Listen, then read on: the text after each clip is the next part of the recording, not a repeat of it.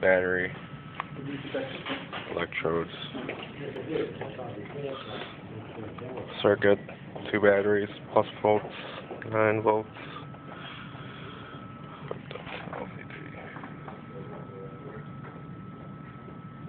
Dude, your heart rate is must be exactly at one hertz if it's if it's looking like that on the screen.